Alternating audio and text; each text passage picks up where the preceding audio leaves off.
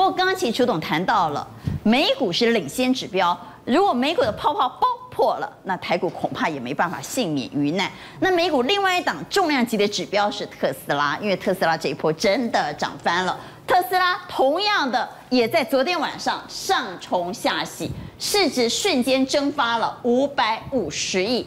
这个上冲下洗有多剧烈呢？十分钟竟然可以涨出一间通用，你就知道它拉的有多快。但当然，它跌下来也可以十分钟跌掉一间通用的市值。特斯拉股价到底有没有泡泡呢？特别是我们刚刚也谈到，一九九零年代的晚期在线，就是当时呢，其实有很多股票啵啵啵都破了。所以分析师担心这一波的苹果、亚马逊等科技巨头，包括特斯拉，也已经接近泡沫了。所以我们来问幸福，特斯拉也接近泡沫了吗？其实特特斯拉这个股票哈，还真的蛮特别的哈，因为从去年它一路涨上的过程里面，很多的美国的一些大牌的分析师一直看衰它。他说啊，你才卖没几辆车啊，你获利都没有，凭什么股价两三百块、三四百块？然后不信邪，一路呢从八百、一千，现在哇，居然涨到了将近快一千八百块。一七九四就是十分钟，对，涨了一间通用，对，但是。十分钟也可以跌掉一件通用哦，确实，因为其实它应该是说有点类似在高档区哦，所以呢，其实这个股价的波动就会异常的剧烈。是不是因为它空单太多？呃，我们以大盘来说，因为特斯拉据说是现在美国股市空单最多的一档个股，就是有很多人就是看它不顺眼，你凭什么涨到这个位置？对，而且其实像之前很多空单酝酿的条件就是什么？第一个，你可能获利都还没出来，但是股价一直涨，大家就会想空它哦。那再来的话呢，就是。这个呃，执行长哈，这个 Musk 其实他过去的一些言行举止，他会觉得啊，你怎么一下在电视上抽大麻，一下子跟谁这个吵来吵去的，好像你这个公司的执行长呢是一个好像很 crazy 的角色哦，所以大家会觉得说，这样他领导的公司会不会有危险哦？不过实际上来看哦，从过去哦这个 Tesla 的股价，特别是呢开始哦，它呃突破了大概这个一一百块之后，其实你可以发现它这个空单是不断不断的上高。这个是它的空单，对不对？对对对。它的空单一路的往上飙高。据说法人评估，它可能财报出来会是亏损的。现在有两种说法，一种是因为它其实最近这几个月，特别是中国大陆，因为它明天需要公布财报。对，因为中国大陆今年它交车的状况是不错的哦，所以有人认为说，可能第二季有机会呢损平或者小赚。那特斯拉的股价在空单持续垫高的情况之下，又出现上冲下洗，相关台湾供应链怎么办？其实哦，这个是一个比较旧的图哦，这个是过去台湾的 Tesla 的供应链，大概有蛮多家，大概台台厂里面哈，从外壳了到里面的一些组件等等，大概至少一二十家、二三十家。但是大家一定会很好奇，为什么这一次美国的 Tesla 股价涨翻天，可是台湾的股价好像不太会动？我们直接看下一张，这个呃大家比较耳熟能详的这个和大，你可以发现呢，明明现在台股已经创高，为什么它离这个今年年初的高点一百三十块？哎，什么？今天还有大概三十块的距离，很简单，因为今年特斯拉的业绩主要成长动能是来自于中国大陆哦。中国大陆呢，其实去年的这个所谓上海的超级工厂完工之后呢，中国大陆的这个车民非常的喜欢开这个所谓特斯拉电动车，为什么？身份地位的象征，那晒开往下趴哦，所以很多人跑去买。那中国这一次其实他们是大力倡导零件自主，所以你可以发现，哎，过去哦，只要特斯拉股价涨，台湾都会涨。这一次好像稍微有点所以这次没跟到是吗？呃，有一点可能部分。我们来看一下，我们回来看一下特斯拉的股价。我们看到特斯拉股价持续的往上创高。对啊，最高已经来到一七九四了。大家一边骂它一边涨，一边骂一边涨，一边空它一边涨。那我们回来看和大，和大的股价如果比特斯拉，那就落后好多好多，超级多了。但是呢，大陆这一次又打入特斯拉，不只是没有创新高，它连前坡高点的位置都还够不到呢。对，但是大陆跟特斯拉有关的股票，特别是跟锂电池的涨翻天了，像宁德时代哦，宁德时代的股价从去年底到今年初也是涨了两倍哦，两倍哦。我们直接看一下它的 K 线啊，这样是最快。虽然它今天跌，你看哦，去年大概呃，今年的这个四月的时候，大概在一百三哦，你要拉长一点，更低，大概只有。七八十块涨到昨天创新啊，已经来到两百多块的人民币。你看这个就是长得很像，跟 Tesla 差不多哦。所以这一次是中国大陆的这个零件自制化，对大陆的 Tesla 的供应链呢产生相当大的影响。所以幸福，那我们的特斯拉概念股没有跟到嘛？人家创新高，我没有跟到。那现在人家空单很多，有可能要摔下来的，我们也不会吧？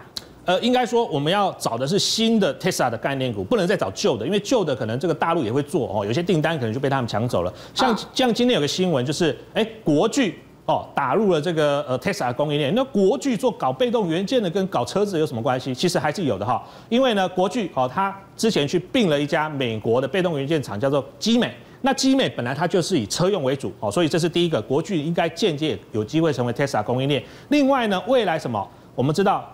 现代的越来越多的所谓的自驾车，不管是电动车或者是一般的燃油车，其实现在自驾功能已经慢慢开始加进来。那自驾一定要加什么？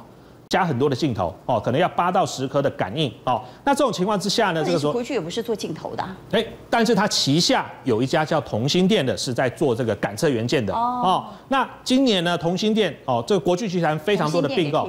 哎，同心电呢，它今年并购了一家也是台湾做 CIS 感测的，叫做胜利哦。胜利过去呢，本来就是做车用相关的占比为大宗，所以其实从这样的情况来看的话，因为在中国大陆呢，做这些相关 CIS 零件，因为这个算技术比较难。所以相对来说，厂商的竞争还没有这么多，所以我觉得如果未来有机会，台厂在所谓的 Tesla 概念股里面，应该是看新的，比如说像国巨或像同心电这些未来新特斯拉概念股，对新的技术，这我想这是比较有机会有机会涨。那旧特斯拉概念股，但是你刚刚也看到核大，它没有涨那么多啊，所以如果特斯拉摔下来，它会跟着摔吗？我觉得应该相对来说会比较轻，就是我们常常讲哦，爬得越高。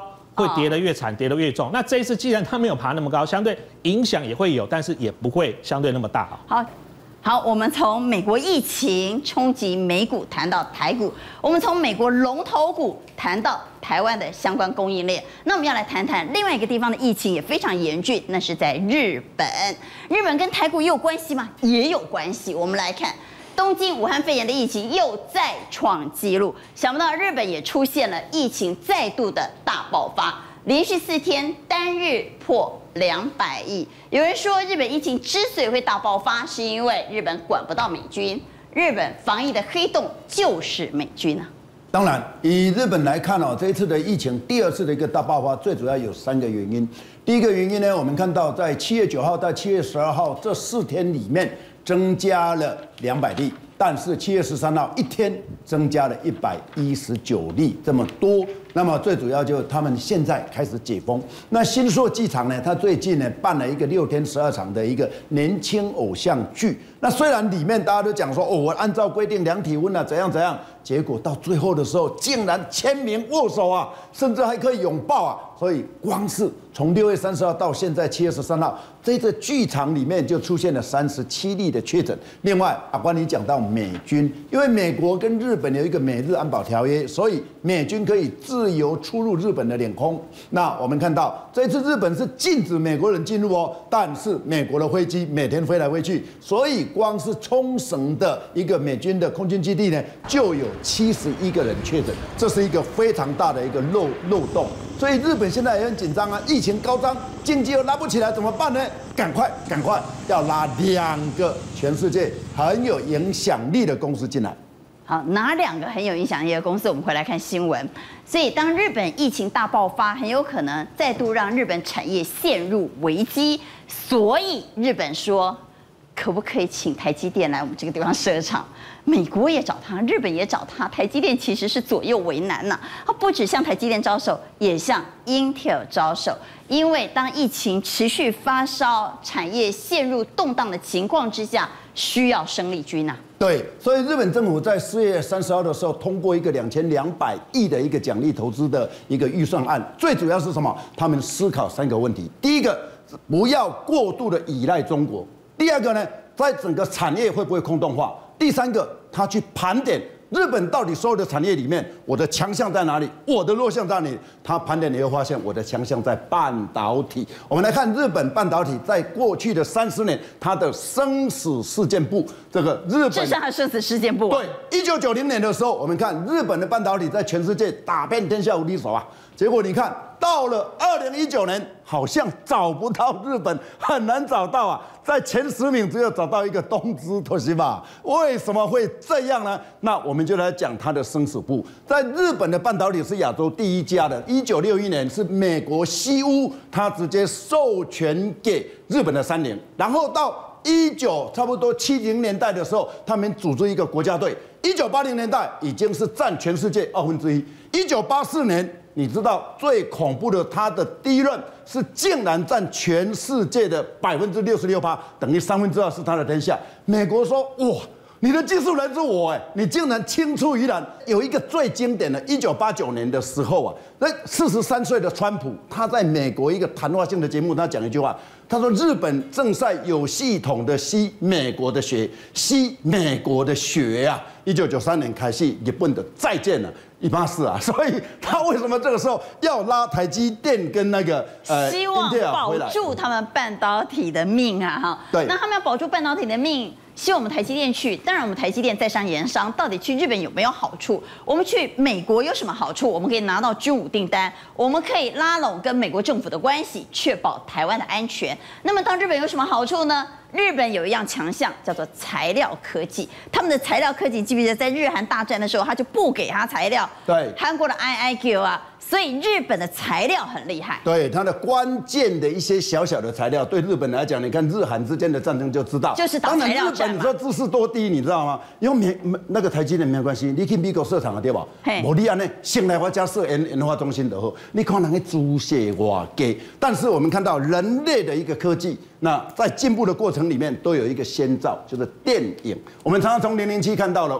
七年后、八年后就出现了。最近有一个叫做拦截记忆码。那拦截记忆码，我们来看这个影片哦。最主要就是说，它我们人的手。本身就是一个触控的荧幕，那触控荧幕呢？哎，我今天要跟阿关来做一个视讯的时候，我就把手贴在玻璃上，哎，阿关就出来了。然后我就把我这个手上的一个资讯，可以直接就传给你。这是电影哦，这是在三年、五年以后可能会出现。另外，日本东京大学最近跟一个大日本印刷公司呢，哎，成立了一个研究部，他研究什么？可挠式的一个塑胶研究的就是刚刚电影那个场景。